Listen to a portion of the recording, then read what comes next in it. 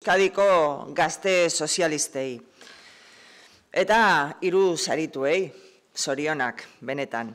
Hoy premiamos a tres mujeres comprometidas y valientes.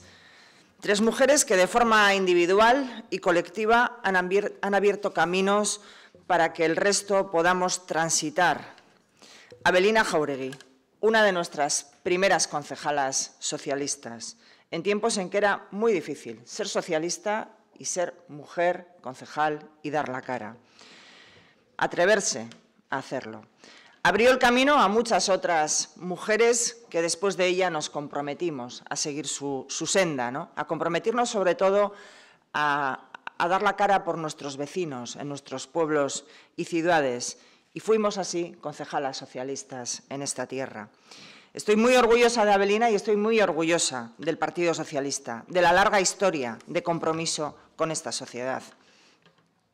Teresa la Espada, pues qué voy a decir, una mujer que encarna los tiempos de hoy, preparada, de reconocido prestigio, con larga trayectoria profesional universitaria, comprometida con las políticas de progreso y ahora, desde su nueva responsabilidad institucional, con las políticas de igualdad, y con políticas, como ella explicaba muy bien, que dirige desde la Diputación Foral de Vizcaya. Yo creo que nadie mejor que ella para hacerlo y muy bien el premio que habéis otorgado.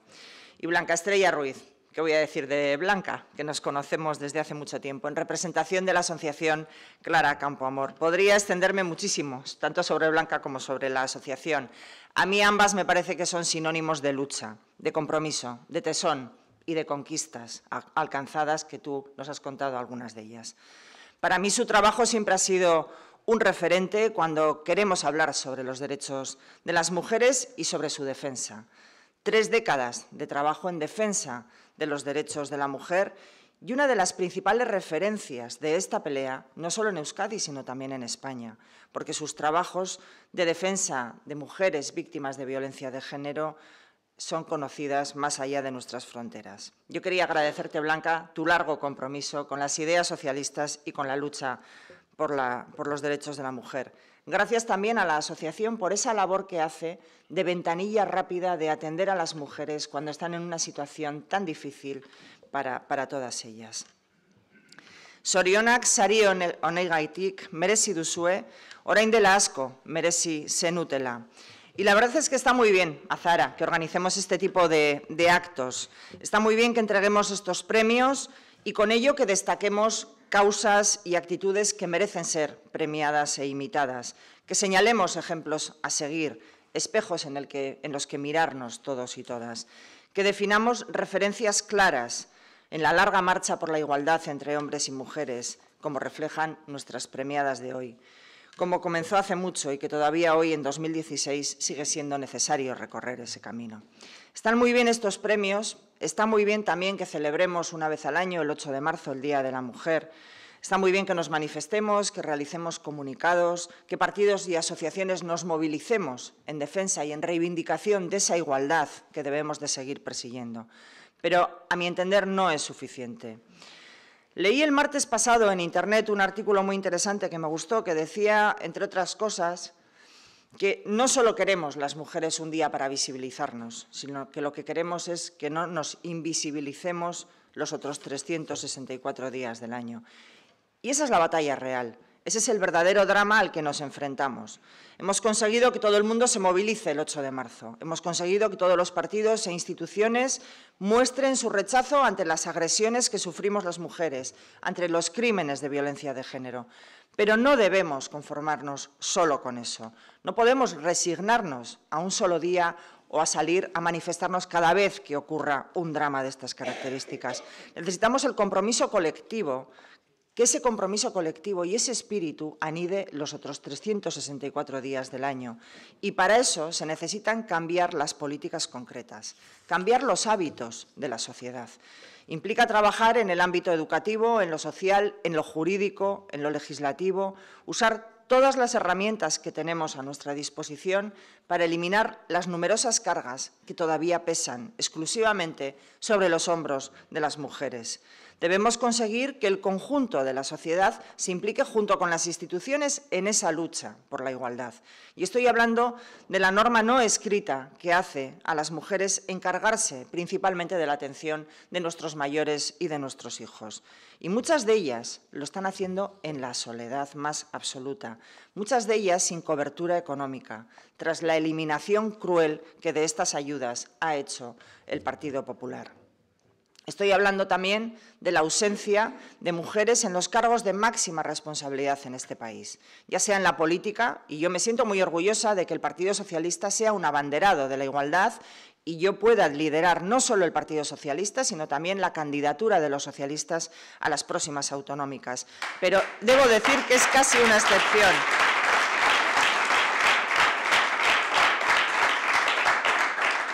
Pero en la esfera privada las mujeres seguimos siendo una rara avis, una excepción, y ahí tenemos que seguir avanzando y rompiendo todas las murallas que se van levantando, porque solo un 10% de los puestos de los consejos de administración en España están ocupados por mujeres. Y también tenemos que hablar de la brecha salarial, que aquí en Euskadi cobremos un 25% menos las mujeres con respecto a los hombres a igual trabajo eso es una indecencia moral que tenemos que combatir, porque eso es lo que está pasando aquí en Euskadi en el año 2016. Y por eso digo que no vale con las declaraciones buenistas del 8 de marzo ni con las críticas genéricas a Rajoy. Esta ha sido la legislatura de la contrarreforma del aborto, de la ley de la dependencia, de la reforma laboral y de las pensiones. Y de todo ello, las principales afectadas somos las mujeres. Esta ha sido la legislatura que más daño ha hecho al avance en la lucha por la igualdad de las mujeres. El fin de semana pasado tuvimos la oportunidad de ponerle fin. Tuvimos la oportunidad de echar a Rajoy y no lo conseguimos porque Podemos votó en contra, porque el PNV votó en contra y porque Bildu votó en contra. Y se equivocan si creían que con eso atacaban al PSOE. Porque PNV, Podemos y Bildu no votaron solo en contra de Pedro Sánchez. Votaron en contra de una ley de igualdad salarial que garantizase igual sueldo a igual trabajo. Votaron en contra de las medidas de emergencia social en hogares de riesgo de exclusión, y ahí todos y todas sabemos que tienen rostro de mujer. Votaron en contra de incrementar la presencia de mujeres en los principales centros de decisión de este país. Votaron en contra de imponer horarios más racionales para poder conciliar mejor nuestra vida laboral y nuestra vida familiar. Votaron en contra de extender la corresponsabilidad en el cuidado de nuestros hijos, en contra de reconocer los derechos de maternidad a las mujeres desempleadas, en contra de hacer de la violencia de género una cuestión de Estado. Todo esto fue lo que rechazaron el pasado viernes PNV, Podemos y Bildu. Por eso, no acepto que los dirigentes del PNV nos hablen de una agenda vasca, como si luchar contra la violencia de género no fuera agenda vasca, como si acabar con la brecha salarial, hablar de la conciliación, no fuera agenda vasca de las mujeres y de los hombres que vivimos en esta tierra, como si esos problemas no afectasen aquí en Euskadi. No, no hay punto más prioritario en la agenda vasca que acabar con el gobierno de Mariano Rajoy. No hay punto más prioritario que sacar al PP del gobierno. Y por eso mismo, porque nos preocupa y porque no nos resignamos a que todo siga igual, vamos a seguir trabajando, vamos a seguir insistiendo en buscar apoyos que garanticen a Pedro Sánchez la conformación de un gobierno que cambie las políticas de este país. Vamos a seguir trabajando por impulsar también desde Euskadi las políticas y las reformas que necesitamos para hacer de esta sociedad una sociedad más justa y más igual, equiparando derechos de maternidad y paternidad, como reclamó el Parlamento Vasco hace muy pocas semanas, pero haciendo también esto extensible a la empresa privada, no quedarnos solo en el ámbito de lo público, de la Administración, como es lo que defendíamos los socialistas y el PNV votó en contra. Impulsando políticas activas de empleo que incorporen al mercado laboral las mujeres paradas de larga duración, uno de los colectivos más dañados en Euskadi, ante el que el PNV sigue desorientado. Recuperamos también Defendemos la recuperación para el Gobierno vasco de la ventanilla única para atender a las víctimas de violencia de género, que permita así una respuesta mucho más eficaz y más rápida a esas mujeres que se encuentran en una situación de tan grande vulnerabilidad.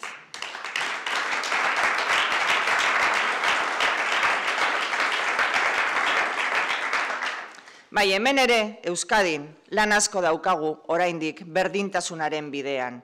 Hemen ere, Euskadin handia da gizon eta emakumeen arteko esia. Baina gai bat baldin badago Euskal Agenda horren lehen puntua, lehentasun bat baldin badaukago Euskadin desberdintasunei aurre egiteko Rajoi gobernutik botatzea da. Espainiako gobernua aldatzea. Emakumeentzat legealdirik kaltegarriana izan delako hau. Eta alderdi sozialista gobernuan behar dugulako politika guztia hoi buelta emateko. Alderdi jeltzalea, Podemos eta Bilduk guzti honen kontra boskatu zuten pasadan astean. Alderdi jeltzalea, Podemos eta Bilduk berdintasunaren aldeko politikak egitearen kontra boskatu zuten pasadan astean. Baina ez dugu etziko, Bide honetan jarraituko dugu. Behin eta berriro, emakumeen eskubideen aldeko defentsari ekingo diugu etengabe. Espainian eta Euskadin. Hau bai da benetako Euskal Agenda. Hau bai da sozialistok dugun benetako helburua. Por tanto, tenemos mucho que hacer, mucho camino que recorrer, aunque llevamos muchas décadas recorriéndolo las socialistas. Aquí tenemos buenos ejemplos entre las premiadas y a otros les hemos ido sumando poco a poco, porque los socialistas somos un punto de encuentro para las políticas progresistas en Euskadi. Hemos conseguido que todos los partidos e instituciones declaren el 8 de marzo como ese día de la igualdad. Pero ahora nos falta sumar a todos en ese compromiso de que el conjunto de los días del año tiene que ser el día, los dos días, los días de trabajar por la igualdad. En esa pelea os invito a seguir en los próximos días. Muchísimas gracias.